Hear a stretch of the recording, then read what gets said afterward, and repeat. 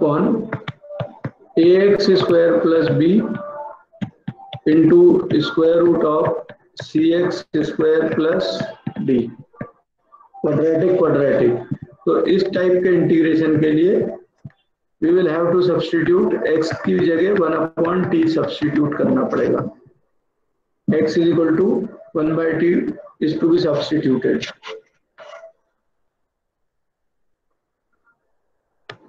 Let's come to the question now. Question number one. 1 upon x square plus 1 into square root of x square plus 2. x की जगह substitute कर देंगे 1 upon t. dx will be differentiation of this 1 upon t का minus 1 by t square आप ये ये याद रख सकते हैं।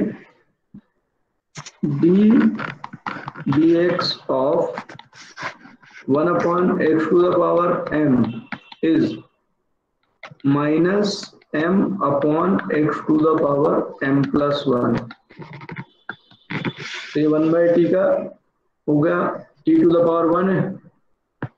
ऊपर जाके हो जाएगा minus m means minus one upon t to the power 1 plus 1 अब इस let the integral be is equal to I मान लेंगे इसको कि i के इक्वल है. Therefore the i is equal to अब i की वैल्यू dx की वैल्यू है minus one upon t square d t whole upon x की जगह वन बाई टी सब्सटीट्यूट कर दें. One by t square plus one square root of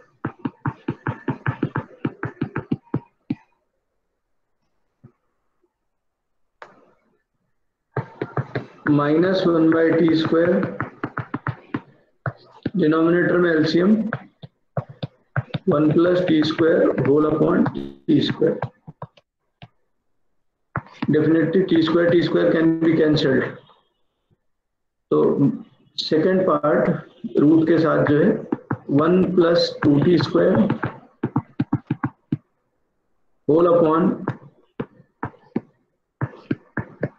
t square.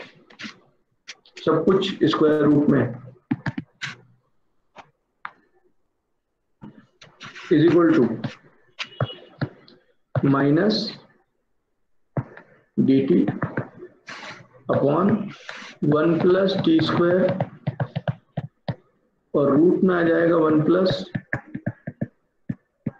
two t square upon upon में आ गया आपके T square root से T square बाहर आएगा टी इस टी को ऊपर भेज दीजिए आप।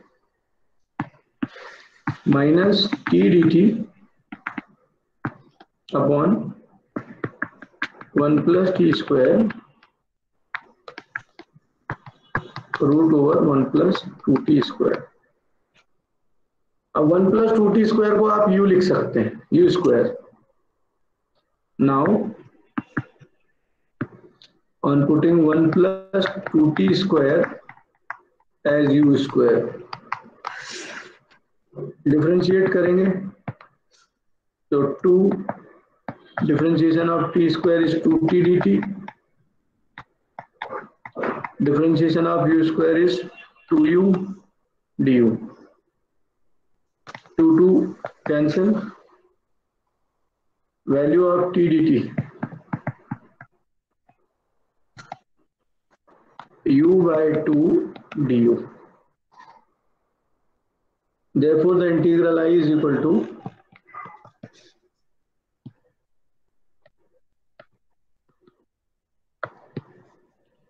u by 2 minus is there u by 2 du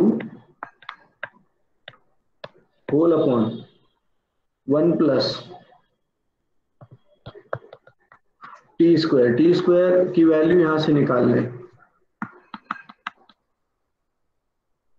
Two t square is u square minus one therefore t square is u square minus one by two this implies t square is u square minus 1 whole upon 2 The value of t square is this u square minus 1 whole upon 2 into under root of one plus two t square को लिख दें आप u square ये u से इस u को cancel कर दें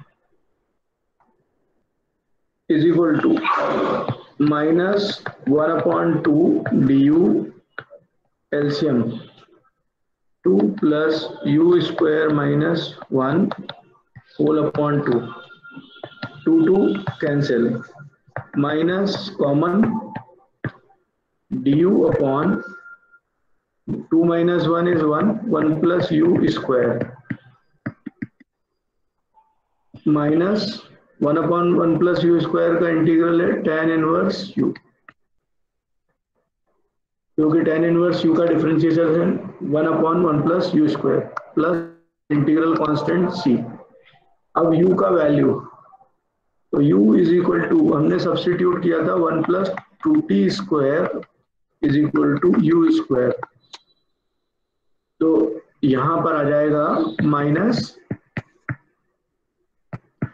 tan inverse root over one plus two t square क्योंकि यू की value root over one plus two t square अब टी क्या सब्सटीट्यूट किया था, वो ऊपर देखना पड़ेगा। Minus tan inverse one plus तो टी सब्सटीट्यूट किया था ऊपर। ये देखिए टी को सब्सटीट्यूट किया था one upon x because x is one upon t therefore t is one upon x तो x को हमने सब्सटीट्यूट किया था वन बाय टी तो t की वैल्यू होगी वन अपॉन एक्स तो two upon x square plus c LCM ले लें तो ये हो जाएगा minus tan inverse root over x square plus two upon x square plus c ये इसका आंसर है, और एक ऑल्टरनेट आंसर भी हो सकता है इसका। अगर आप डायरेक्ट ये लिख दें minus one upon one plus u square derivative होता है कॉट इनवर्स यू का। तो अगर आप इसको cot inverse u plus c लेते तो ये एक ऑल्टरनेट अप्रोच है। तो आप alternately cot inverse u plus c तो फिर आंसर इसका इस तरह से हो जाता है आपका। Cot inverse root over x square plus two upon x square plus c ये दो आंसर इसके हो सकते हैं।